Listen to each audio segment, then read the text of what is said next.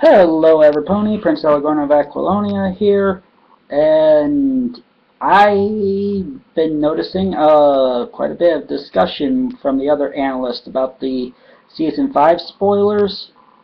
First of all, I haven't checked them out yet. I have to do that. I have to do a lot of things. I'm still trying to think of the next topic for my Fallout Equestria Fluttershy blog. I'm still working on the script for my Fallout Equestria review. I still have to uh, see the new episode and work on my script for that. I'm just really behind this week because I've just been feeling lazy and there's no real excuse for it. But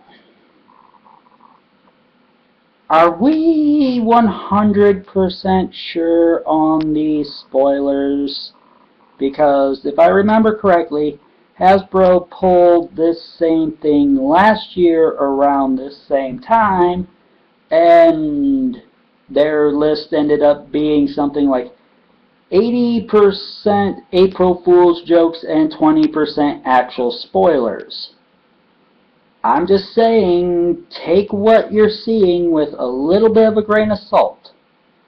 Uh, I will probably have more comments myself when I actually read the spoilers. Until then, uh, bye.